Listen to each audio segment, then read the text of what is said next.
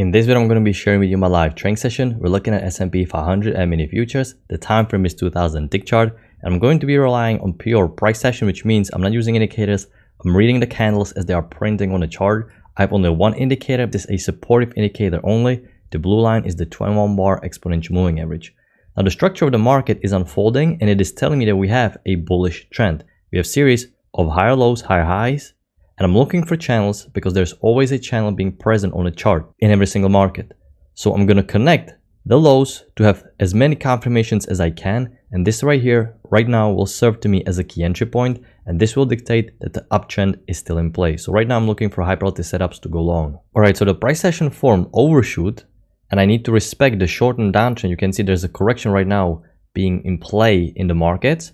For me to go long, I will want to see a push above EMA, a failed second entry short. I was also thinking about drawing a wider channel like this with an overshoot, equally as valid, but right now, since the downtrend was quite strong, it makes sense to draw overshoot, expect break new extreme, and then a failed second entry short above exponential moving average. We'll see. So you can see that we have a new low, first entry short, pullback, second entry short, but the failure is yet to form. So at this point, I'm waiting for big bullish bar closing above the EMA but it's getting a little bit congested, so there's a chance that we may create null of the downtrend first before we're going to reverse higher. I got to be patient. I cannot rush things, even though I expect prices to continue working higher. I want to see local price action to offer me a good high quality setup. So the market formed the second leg. We have a first leg down, correction, second leg down, move to a new extreme. So the bearish momentum played out.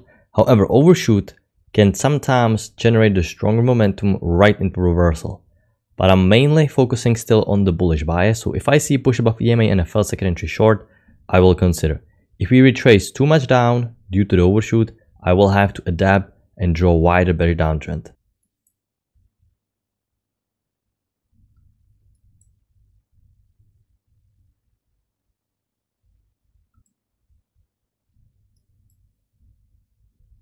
I'm resuming the video as we have a spike and a channel in play. We have a closeout side, which according to trendline rules, we expect new extreme. So I was looking for second entry long to like a pullback, but as you can see, we only had a first entry long that already created new extreme without a good high probability setup. So, so far, I'm just sitting here watching the price action develop. Not that many setups, we just can see overshoot, massive spike down, overshoot, massive spike up.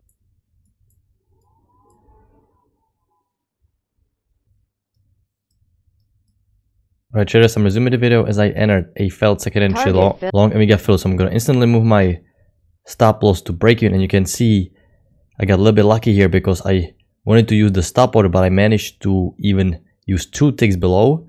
But what I was looking at, new high, first entry long, pullback, second entry long, failure.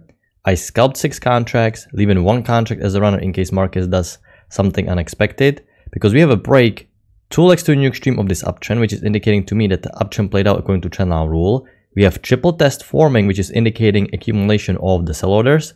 And we have a new high, but I'm going to reset the count. First entry long, pullback, second entry long failure, right below EMA, right off the key entry point after the uptrend played out. So this is a reversal pattern. This is indicating to me that the bull second entry long are going to get trapped. Why? Because uptrend played out and you managed to get a quick scalp. I took a little bit smaller scalp because of course I use the stop order entry, but let's see if we can get some runner here. All right, we are one tick away from getting stopped out on our runner, but this was our first trade for the day, new high, the first entry long pullback, second entry long failure, reversal pattern.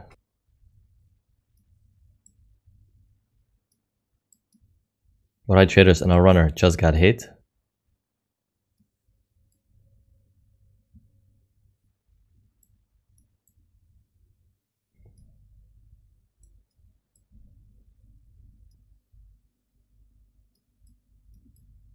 We are at the top of the trading range. I don't really see good high probability setup because uptrend played with the break new extreme. The downtrend didn't get new extreme, which was quite surprising. I was looking for a second entry short. We have somewhat of a bullish imbalance, but the bias is very neutral. I don't really want to go long directly at the highs. So at this point, pretty much I'm still patient. We have a second entry long and I felt second entry short, which is very tempting because we have two like a pullback to the EMA but I just can't really go long into these highs. There is some resistance that is proven. We rejected here and here. So you feel that it's going to push higher. This uptrend needs to get new high. But since we don't have a bigger uptrend working higher, I just pretty much have to skip this. We have a second entry short off the trend line. but there is still quite a gap between the candle and the EMA, so I can't really take it. Had it closed much closer to the EMA, I would have definitely considered because it was still part of the new high, first inch long pullback, second inch long failure. Kind of similar to what happened here, just that this time we were further away from EMA and we had possible overshoot, so I had to be a little bit more careful. Alright traders, I'm back. I took a break. The market didn't really do much. We had a decent second entry short with the break, new extreme, and at the resistance. But as I'm looking at the chart, the momentum was so strong that you probably didn't even get a chance to catch it. But this was a nice second entry short right at the range highs. And right now we have a spike, break, new extreme, and the price action is consolidating at the range highs again. So pretty much the price action is stalling a lot, not that many setups, but let's see if I can squeeze one more setup. Prices broke above the important key level. The uptrend played out with the break new extreme.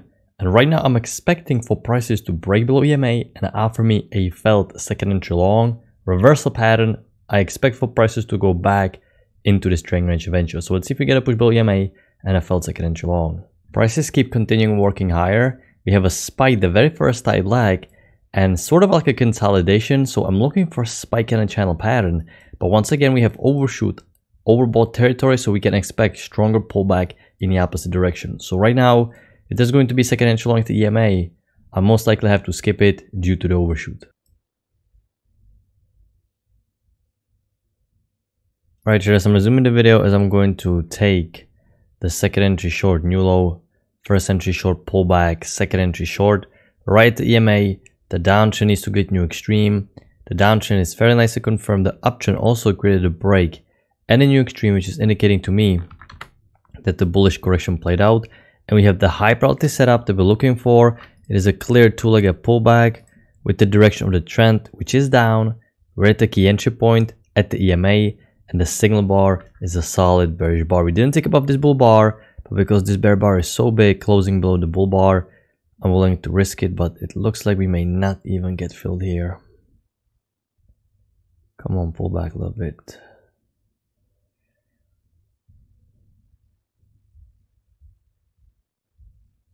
I don't want to chase it that much. We don't have room before these lows, but it looks like I have to cancel the order because the scalp was already made. Alright traders, I'm gonna wrap it up with my one single trade. As you can see, the downtrend ended up creating a break, new extreme, according to trendline rules. So it's a textbook probability setup to finish the day with, just that we didn't get filled. So as a price action trader, you're always looking for channels.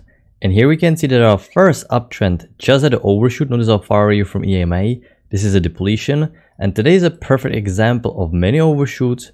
So remember, after you see overshoot, you can expect stronger momentum in opposite direction. This is overbought or oversold territory. I don't need any indicator. All I can do is just read the price action and see how much of a depletion this is and how far away from EMA you are.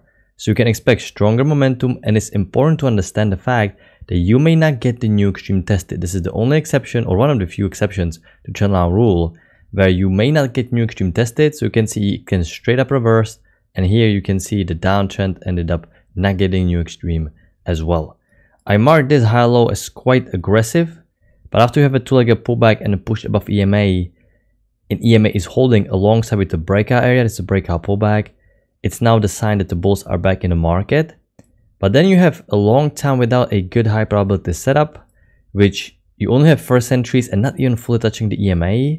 You saw me taking this trade and notice, once the EMA started to flatten, this is indicating that we have price swings up and down, up and down. So I'm trying to predict a trend range. The market cycle is shifting. So my goal is to identify the key levels, the support, the resistance, and you have to be careful selling directly into the lows and buying directly into the highs. For this reason, I avoided this second entry long because just because it's a two-legged pullback doesn't mean I can go long directly into a proven key level and we have a little bit of a lower high breakout pullback because of a consolidation here. We broke lower, came back, tested it, which potentially you can take, but I would prefer a failed second entry long. Then we had a nice second entry short, new low, first entry short, second entry short, right off the highs with the resistance, the main key entry point where all the sellers will start selling. Also, the uptrend played out with the break new extreme. And then you can see you have a spike break new high but you also have a downtrend followed by a break new extreme, which is indicating that the sellers are not reversing the market because you already have a break new low and EMA is holding, you have a push above EMA, and here you have very strong high low of the EMA, great tier 1 signal bar confirming the second entry long. So once you have a break new high, you don't want to take the second entry long, but if you have high low confirmation and EMA keeps holding, that's a sign that the bulls are in the market and you can consider the high low high probability set. But there's a little gap, so if you use limit order, you probably didn't get filled.